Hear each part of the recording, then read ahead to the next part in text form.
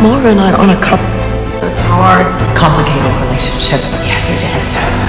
I need to know you're taken care of. I don't need a guy to make me happy. Maura, You're gorgeous. Can we just talk about your love life? why? You gotta stop. It's been very complicated to be you. You have no idea. Okay, so so what are we arguing about here? You're just mad at me for who my friends are. Okay, I, I've, I've just never seen you hugging suspects before. Look, I want my life to have meaning and purpose, the same as you. You know when you're so in love, you feel like you took some kind of a substance. Sweetie, I'm, s- I'm sorry. I, I don't know why you're telling me this. Jane. Haven't you ever been afraid of anything? Why? What were you scared of? You. I'm so supposed to be.